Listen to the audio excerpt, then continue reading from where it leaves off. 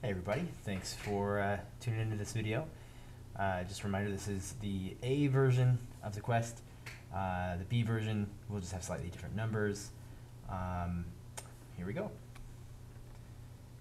So we're going to decide whether this ordered pair is a solution to this equation. Now this word solution is uh, has a particular meaning when it comes to equations. Okay, so an equation has a solution if that solution makes the equation true. So let's look at a simple equation. Um, x plus 1 equals 4. Well, x equals 3 is the solution to this equation because if I put in 3, it works. Right? And that works for any equation. Like the test for if this is a solution is to plug it in and see if it works. Okay? So the same is true even if we're going to uh, have multiple variables. So here's our x, we all know that's x, and that's y. So if this is x, if x is 6, okay, and y is negative 2, so we're going to have a minus 2. If that comes out, if, if that makes it so that both sides of this equation are equal, then that is a solution. 12 minus 2, does that equal 10? Well, 12 minus 2 is 10, and that is equal to 10, so this is true. So yes is the answer. Now, if you just put yes and there's nothing written here, you may have just done it in your head. I'm completely uh, confident in everybody's ability to do this in their head, but I don't know if you just guessed or not. So that might be why you didn't get full credit on a question like that, uh, even if you just said yes. Um, okay, so find the value of this guy here so that the slope is 15 halves. Uh, we know that to find the slope, which is the change in y over the change in x, a lot of you are going to find that not a lot, but some of you are going to find that the uh, mistakes you were making with slope were that you were switching delta x and delta y. This is the change in y over the change in x. Okay, so when I want to find the change in y, I need to find the difference in two y values, right? We often call this y2 and this y1. And this we find a difference in two x values, x2 and x1. Uh, which one we call y2 and y1, it doesn't matter just as long as if this is y2, this is x2. And if this is y1, this is x1. Okay, so if we take 9 minus that y value that's missing over negative 2 minus negative 4, it needs to come out to be 15 over 2. Uh, well, let's clean this up a bit. We have 9 minus y over negative 2 plus 4 is 2. Well, there's the 2 right? It's a positive 2. This should come out to be positive 15 halves, so this should be a positive 15. So what does y need to be so that we get a positive 15? You can use your intuition, right? Um, or we could say, like we could write an equation, 9 minus y needs to be equal to 15 in order for all of this to work out. And then we just solve for y. Uh, we could subtract 9, negative y, equals 6 divide by negative 1, and y equals negative 6.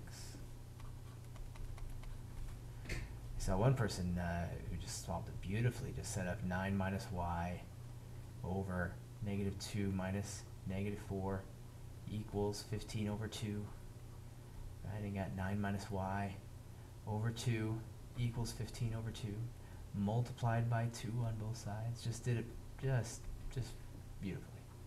And then, but we just got to 9 minus y equals 15, just like we did. Here we just kind of used some intuition. Here we actually used full-on algebra and found the same thing. y is negative 6. Um, in 1995, a company had a profit of $159,000. In 2003, they had a profit of 291,000.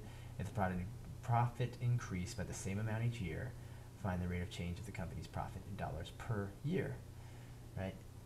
So um, I didn't see this a lot, but one mistake was just kind of assuming that they started at zero dollars profit in 1995, right, and that they saw an increase of $291,000 from 95 to 2003 in eight years.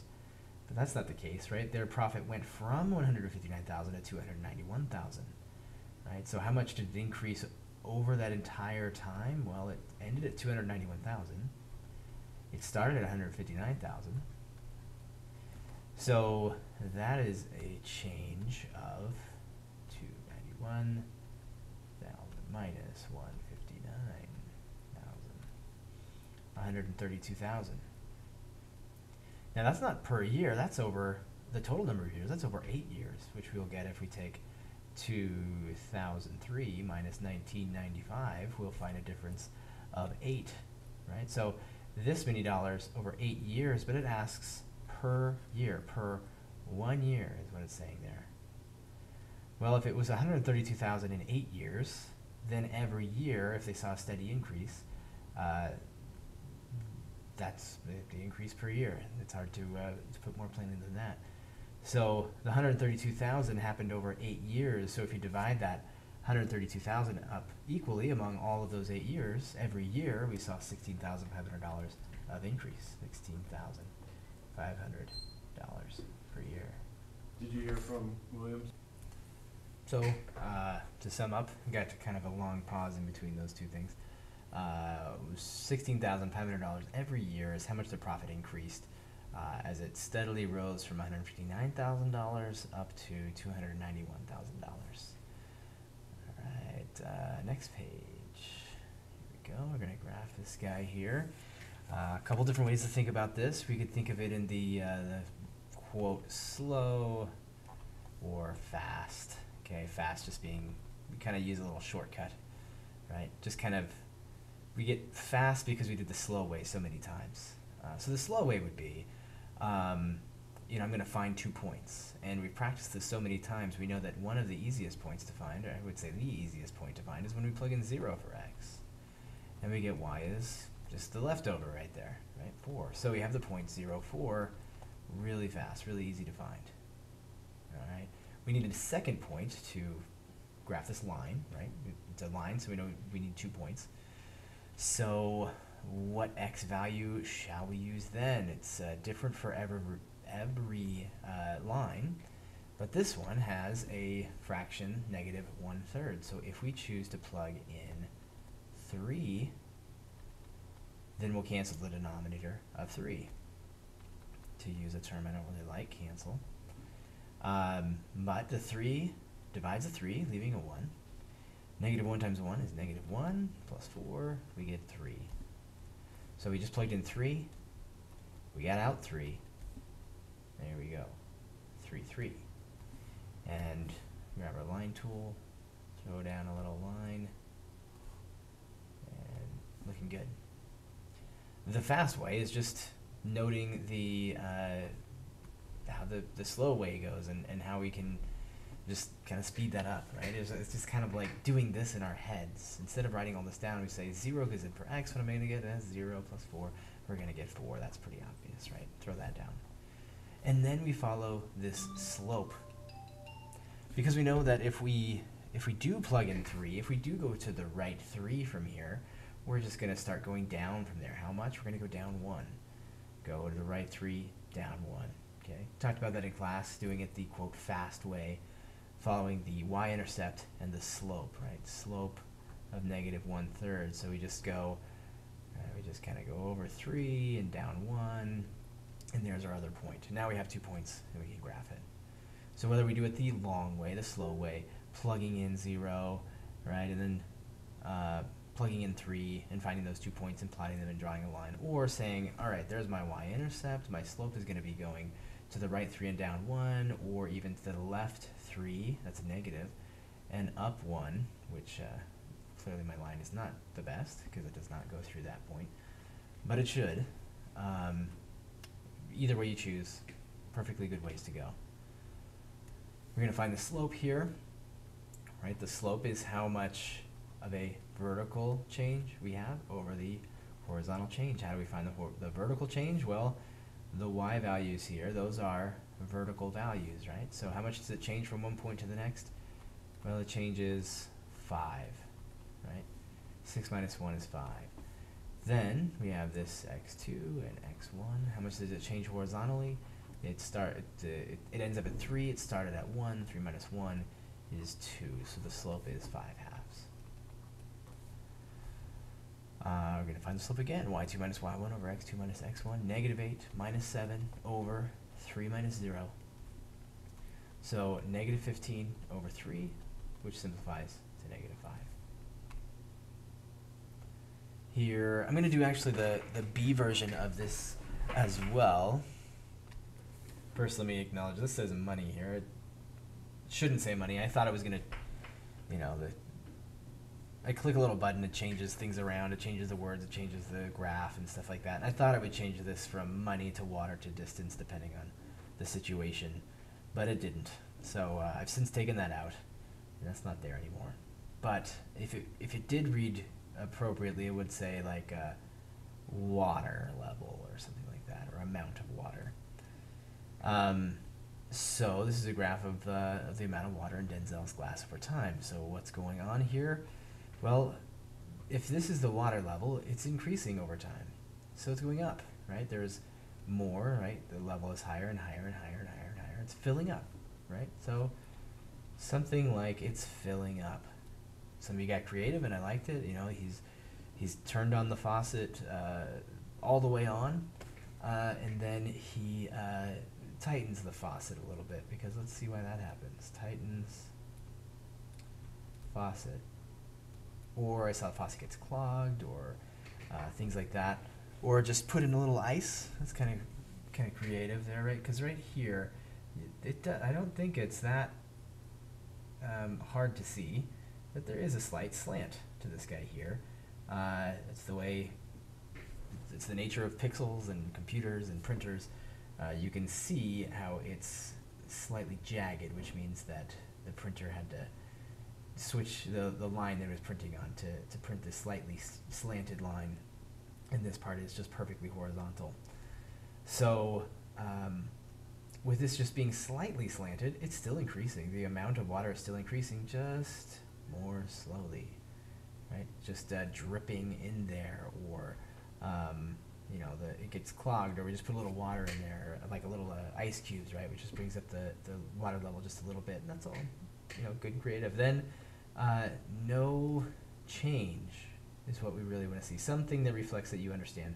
There's no change. He, you know, leaves it on the countertop. He walks out of the room. He puts it down to fix the faucet. I saw a lot of that stuff. Right, just no water is going in or coming out. Right, and then he drinks some of that water. Right, the amount of water is decreasing. Okay, and the only other thing here, aside from seeing that that you understand that it's filling up, filling up more slowly.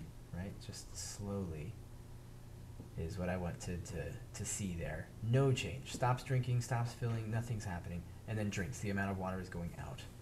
Okay? Or so, one person said that he spilled the water. Fine.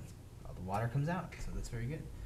Um, what I wanted to see here is that you fo- focus on the total amount of water from beginning to end. From the beginning to the end, how much did it change?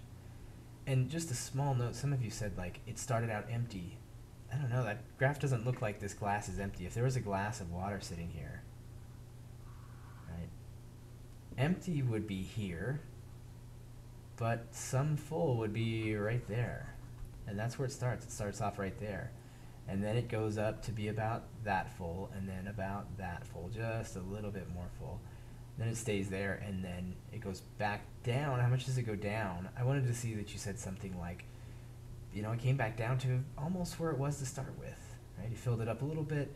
He drank some water, and to me, it looks like maybe it stopped right there, just a little bit more full than it was. If you said it went back to the same, that that's fine. But I wanted to see that you said that it either went up a little, right? Something about increasing a little bit, or maybe even just stayed the same. You know, it, it went up to a certain amount, it came down, and it, where it ended was just about the same as where it started.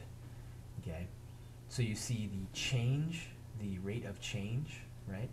It's pretty steep, so it's changing fast. It's not very steep, so it's not changing very fast. But also, the y value of it is how much is in the glass at any time. So here it's full, and it's just as full now, and it's just as full now. It's as full as it can be, or the, the, as full as it is over this uh, interval, and then it's getting less full and less full and less full. Number eight. I don't know if anybody got this wrong. A lot of people caught on to this, right? So we've got an amount of money is equal to a $20, right? Just one time we pay $20 plus two times the number of rides that we go on. So that was pretty good. S maybe, I, I did see like a specific amount put here, like $70. Not sure where that came from, but you don't need a specific amount. This changes. As the number of rides changes, this uh, total amount of money can change. So we can just leave it as variables. Um, we're going to see if these are parallel, perpendicular, or neither. If they're parallel, they have the same slope.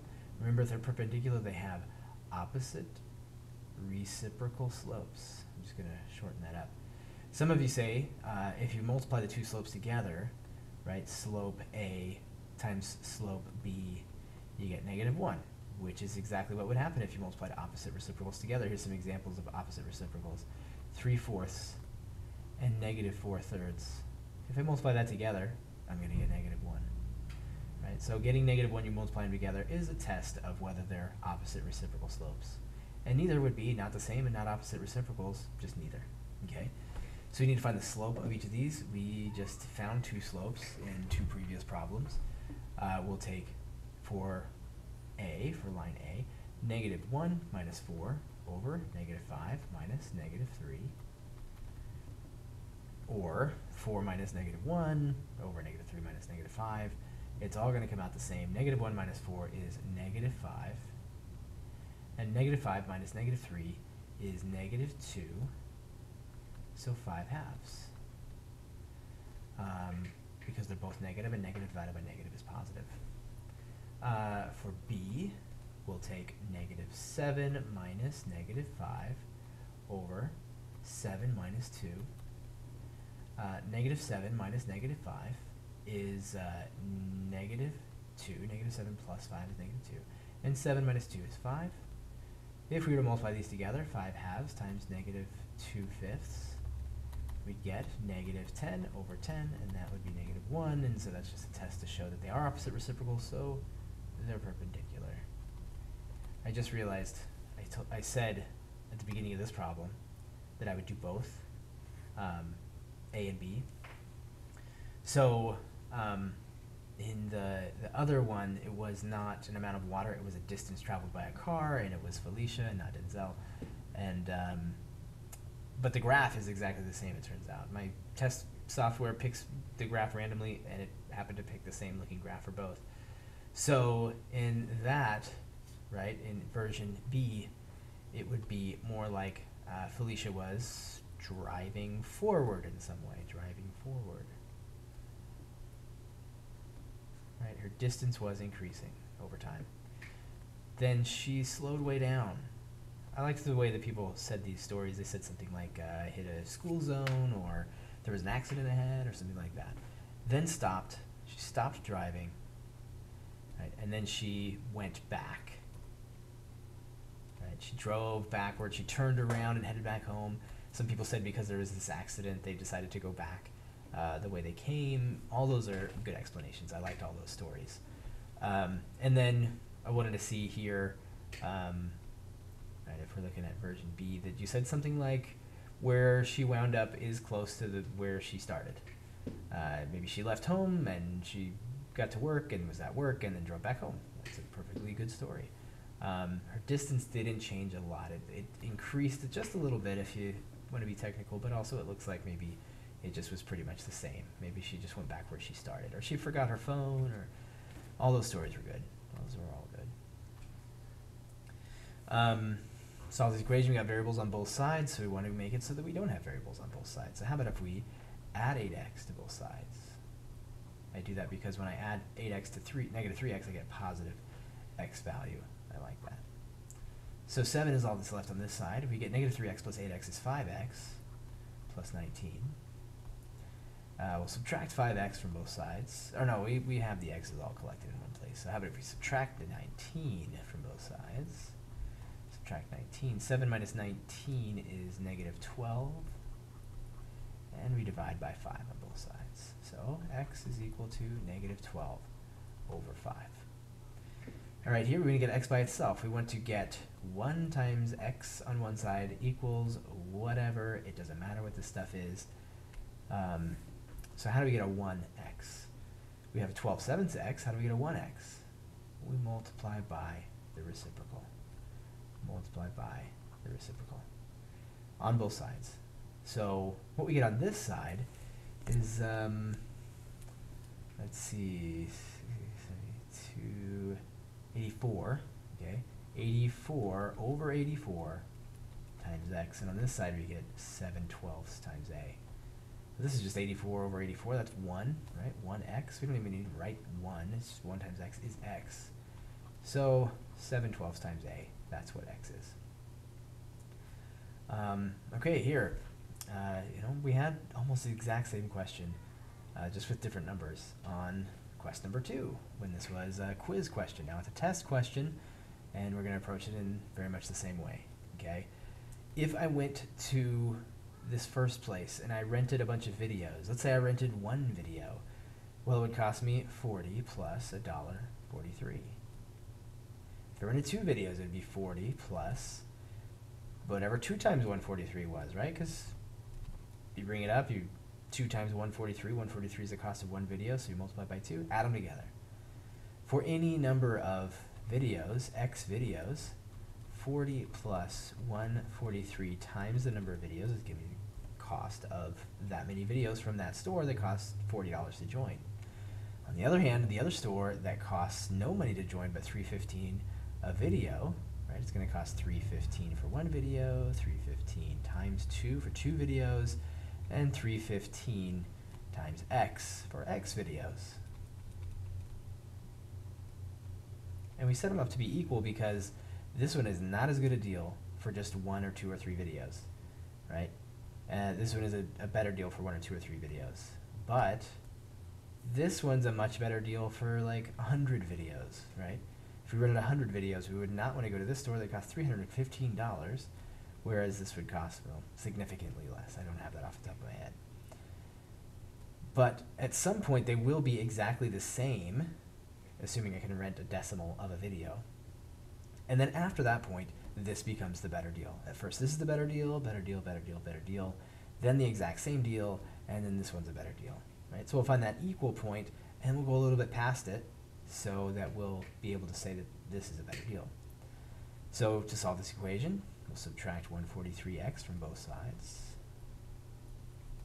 That's 40 equals 315 minus 143, 172, that's 1.72x, so we'll divide by 1.72x, not x, 1.72, just 1.72, because 1.72 divided by 1.72 is 1, and now we have 1x on this side. So 40 divided by that answer we got 23.25. Okay, so x is equal to, let's say equal to, even though they're not exactly equal, 23.26. So if I were to rent 23.26 videos, then this guy here, this, this club here would cost the exact same amount as this club here. But you can't rent 23.26 videos, and we don't want them to be equal. We want this to be a better deal. So we need to rent more than 23.26 videos. And the next number that makes sense after 23.26 is 24. Let me make sure that that was the bottom of that page. It was. Here we go. First one on this next page. Solve this equation. First, I just have to distribute. I just can't resist. So I'm going to distribute. Oh, and at the same time, I'm going to subtract 4x from 13x, so that's going to be 9x. Just combining like terms there on that side, cleaning it up. Careful, negative 2 times 1 is negative 2. Somebody got plus 2 there, should be minus 2. 9x, let's see, uh, 9x plus 3 equals 3 minus 6x minus 2. Maybe I want to combine these like terms here and get 1 minus 6x on this side. So we have 9x plus 3 equals 1 minus 6x Right? Now we don't want variables on both sides, we only want variables on one side. So I'll add 6x to both sides, canceling the 6x on this side, the negative 6x on this side. And so I'm to 15x plus 3 equals 1. Then I'll subtract 3 from both sides. 15x equals negative 2 divided by 5, and not 5, 15. And x is equal to negative 2 fifteenths. Negative 2 fifteenths. All right, solving for x just means we're going to get x by itself, but x is inside this parentheses. This parentheses is being multiplied by a negative 4, so it'll probably be probably be easiest to distribute this negative 4. Negative 4 times 3 is negative 12. Negative 4 times x is a negative 4x. All right, so we have this x term here. We got some stuff subtracted from it, some stuff added to it. So we'll subtract c. We'll add 12. c minus c is 0. Negative 12 plus 12 is 0. We'll subtract c and add 12 on the other side. Negative 4x equals h minus c plus 12. We'll divide by negative 4. x is equal to h minus c plus 12 over negative 4. All right, so all that stuff all together, uh, doing that would be equivalent to x. Uh, solve this for p, so this is even a little bit easier, I think, than this last one. We have a p term plus some stuff equals 60, so let's just get rid of that extra stuff by subtracting it. Right? 9p plus 5m minus 5m, let's look at it the number line. Here's 9p right here. Okay, I don't know where it is in relation to, to 0 even. It could be a, a positive or a negative number. But if I add 5m, add 5m, here I am at 9p plus 5m. And then if I take it from there and subtract 5m, well, it just leaves me at 9p. 9p is all that's left on the left side. And we're equal to 60 minus 5m. And we'll divide by 9. Just like we would no matter what it was that 9p was equal to. If 9p was equal to 81, we divide by 9. If 9p was equal to 173, we divide by 9. And we're going to divide by 9 here. P is equal to 60 minus 5m. 5m over 9. Was that it? That was it. That was the last one. Um, well, again, thank you for watching. I hope that was helpful. If you need any extra help, absolutely stop by and ask me any questions you have. Thanks for watching.